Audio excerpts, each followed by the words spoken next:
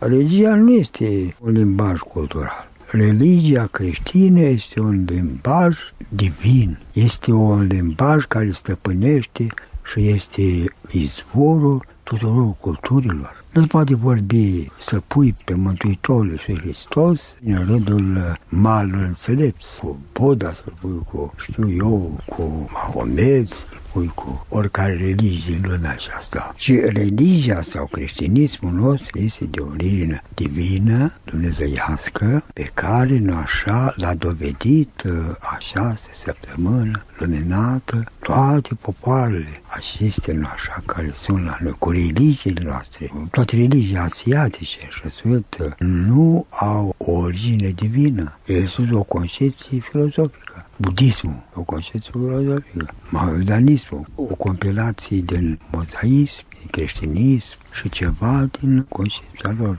cu mahomedană. Dar religia noastră, spre toate celelalte religii, nu își pot explica fenomenul mare al învierii Mântuitorului Hristos. Niciuna dintre religii nu se pot manifesta, nu se pot nu mândri, spunem, zmerirea noastră. Din cei 88 de ani pe care îi aveți, 16, i-ați petrecut în închisoare. Bă, au fost ani cei mai frumoși. Că dacă nu erau acești ani, eu nu mai eram uh, ce sunt acum. Asta trebuie să știți că omul în libertate nu știe să-și realizeze viața. Omul uh, este foarte nesigur și influențabil de tot agenții din jurul lui. Dar când este pus obligatoriu să-și formeze caracterul, să urmează o poziție și o linie așa de conduită, apoi este Sfânta Suferință. Creștinismul ortodox n-ar fi fost creștinism ortodox dacă n-ar fi trecut pe cei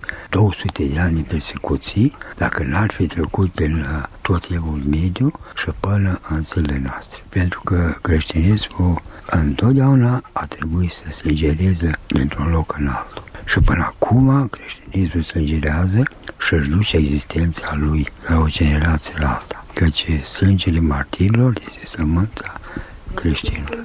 Și viața care am dus-o în acești ani a fost poate cea mai fertilă și mai frumoasă pentru că am trecut de la moarte la viață și de la viață la moarte în toți acești 16 ani. Și, și aici a fost toată evoluția pe care sus este strict, oarecum benefică a omului care se formează pentru viață. Și ați trăit cel mai frumos Paște. Cel mai frumos Paște. În mina de la Baia Sprie. Am făcut liturghii, poate nu le-am făcut, nu le fac acum, poate deși am și pe Iisus Dumnezeu astăzi, am picat apasă de departe și mi-am străcit uh, rotula genunchiului. Poate că cine știe ce am făcut. Dar uh, a fost uh, frumoasă pentru că o liturghie de acolo făcută uh, sub ochii, sub ochii milițianului de la ușă, e ușor. Dacă te prindeau cu o rugăciune de maniera asta, era foc. Spunea Părintele Calciu cum a săvârșit o liturghie în celulă. N-avea pâine, doar puțin vin. Și de servici pe secție era cel mai oribil milițian încât nu se putea vorbi cu el. Puneau în zile sărbătoare pe oamenii ăștia în mod special să facă în sfârșit instrucția sau deținuții. E bine, părintele Calciu bate în ușă. Și vine ăsta, schide, și vei bani despre. Dom'le, n-am bucat de pâine. Pâine? Și ora pâine? Ba în ușa și ies. Dar nu trec 10 minute și ăsta vine cu o bucată de pâine. Ia pâine de ce, mă? Dar vezi, să deveni că grești. Cum, domnule, să grești? Dar, dar și sunteți acum autor prezent în lăturia noastră și cum se spune. Și a încheiat acolo o sfântă liturghie, o trăire cum s-a pomenit cu tot soborul, cu toți preoții, cu toată liturghia, a fost, în fine, aici, pe trupul unui bolnav, care după împărtășanie a mai durat șase ori și a trecut la Domnul. Iată că a fost o liturghie vie, pe trupul martirilor, că știți prea bine, în uh, Sfânta Masă, la Sfințirii, se pune o semintelor de martir. Și la Baia Sprie Nu vorbesc la Baia Sprie, cât a fost în sfârșit de frumoasă, înșeruirea aceea de melodia clopotelor după lungimea sfrederilor. de la perforare în blocul din mină, când s-au adunat acolo 200 și vreo 50 de oameni să cânte un Hristos a înviat și toți care ieșeam de aici cu cântecele astea, în sfârșit, ăștia de afară au fost anunțați că deținuții fac slujbă în mină, o întreabă cinci caralii nelarmați, ca de obicei nu se intră prin deținuți arma cu armă, și afară ne așteptau, dragii mei, batalioane de miliție și de securitate, când ieșeam cu, cu strigăte, cu cântările și să din mine la 400 de metri, și să împăzea vocea noastră pe toată întinderea Baia Sfie și Baia Mare. Am intrat fiecare în colonie acolo, în Barecinu, unde adăposteam noi. Nici nu ne-am mai făcut baia, am intrat direct în dormitoare, așa am stat două zile acolo și după două zile ne adună în mijlocul curții, bandiților știți ce v-am ținut așa? Pentru că nu vă mai ieși din cap prostiile.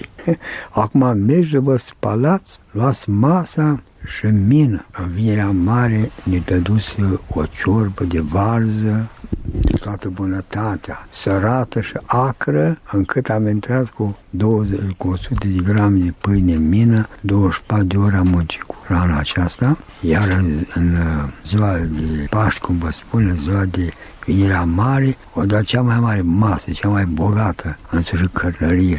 Au rămas cu ea toți acolo, iar noi, în poș, în rugăciune, le-am făcut datoria și le-am dat normă cuvenită la plumb și la galenă. Noi vedem pe creștinul noastre în toate vremurile și-au botezat, și-au colunat, s-au spovedit, s-au împărtășit, s-au au căutat o împăcare permanentă cu Dumnezeu. Deci cam asta este și caracteristica neamului nostru românesc. Românul nostru și-a găsit refugiu în special în biserică. Pentru că aici este, mă rog, ultima biserică, este și școală, biserica este și judecătorie, biserica este și loc de închinare și toată înșită nădejdea și bucuria și durerea lor. De unde aveți putere pentru fiecare? Dragul meu, puterea după fiecare vine de la nevoia fiecăruia în parte. Și atunci el, așa, prea mult lucruri nu-i spun eu, nici nu-i citesc eu, nu fac eu minuni. Dar omul vine în sfârșit și la o bătrânețe.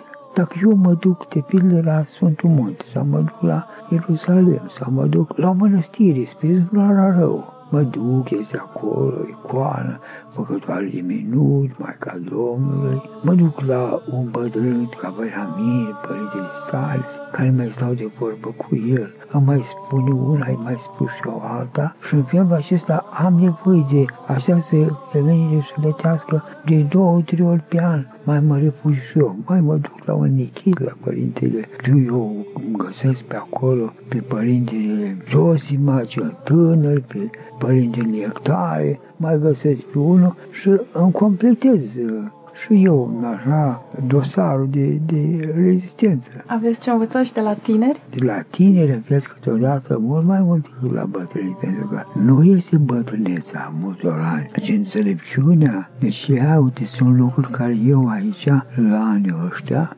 întreb și băi, ce părere ai despre tare lucru? Eu am uh, socotit că trebuie să fac așa, așa, așa. E bine, îmi spune dragul meu, da, băi, e bine, dar uite că parcă ar fi și așa cum mă gândesc eu. Și în adevăr o iau de bună în Harul Dumnezeu lucrează, nu omul. Un bătrân, să știți că e totul în viața duhovnicească, e totul într-o mănăstire sau un preot în mijlocul credincioșilor. Având în vedere că omul acesta este ales acolo și socotit de popor, aveți că Harul Dumnezeu este acolo. Dar poate greși și stare, poate greși duhovnicul acesta. Însă chiar dacă faci ascultare, faci de greșeala lui, nu e nimic, dar tu trebuie să mergi în ascultarea față de el. Că nu el este răspunzător față de, ci este Duhul lui Dumnezeu cât i s-a dat la un moment dat pentru creștinul care vine. Deci în viața mănăstirilor și în viața creștinilor există o absolută necesitate ascultării. Chiar dacă spune că A, dar nu mă duc la părintele acela că am auzit că e așa și așa și că l-am văzut eu că mai, nu știu, pe la o veselie, pe la o cumărie, că am mai face un gest sau altul. Nu în asta constă. Noi trebuie să știm că este omul care Dumnezeu l-a ales acolo și eu trebuie să-l ascult. Greșeala lui este ridicarea mea. Spun Sfinții Părinți, decât însășit să mă ridic de pildă pe părerile mele proprii, mai bine să merg mai pe jos cu părerile unui sfătuitor. Deci cam asta este vorba despre oricum echilibru creștinului cu duhovnicul. Și oamenii sigur că se duc acolo. Bă, la Mănăstirea Petrova, e un băiat acolo. Mai trage unul un articol pe la un ziar și lumea, oh, stai că mergem acolo. Și acolo, ce, uite bine în scaune și eu stau ca un netremnic și îmi vindic și eu oasele și păcatele mele. Ce îi spun? Omul e mulțumit așa, pentru că ortodoxul, pe excelență, este ascultător. El are un principiu înțeles din firea lui, născut din copilărie, este crescut. Când dată, dacă stai de vorbă cu cineva, vine la mea un creștin și spune, mă simt rău, pustit, n-am niciun spor, sunt însurat, am doi copii, soția m-a lăsat. Și atunci zic, eu nu întreb, mai ai duhovnic, ai însfătuitor, te mai sfăvdești tu, mai faci o împărtășanie, mai ții de o biserică, apoi din când în când și o părinte mai faci asta. Și atunci iată că aici este cheia și oricum desodământul vieții omului.